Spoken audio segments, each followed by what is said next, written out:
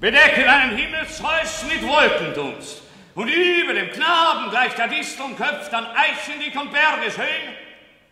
Musst mir meine Erde doch lassen stehen und meine Hütte, die du nicht gebaut. Und meinen Herd, um dessen Blut du mich beneidest. Ich kenne nichts Ärmeres unter der Sonne als euch Götter. Ihr nähret kümmerlich von Opfersteuern und Gebetshauch eurer Majestät und darbtet, wer nicht Kinder und Bettler, hoffnungsvolle Toren.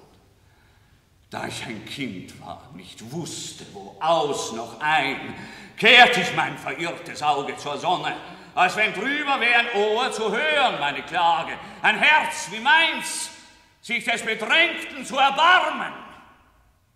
Wer half mir wieder der Titanen Übermut? Wer rettete vom Tode mich von Sklaverei? Hast du nicht alles selbst vollendet, heilig, glühend Herz, und glühtest jung und gut, betrogen. Rettungsdank dem Schlafenden da droben, ich dich ehren, wofür?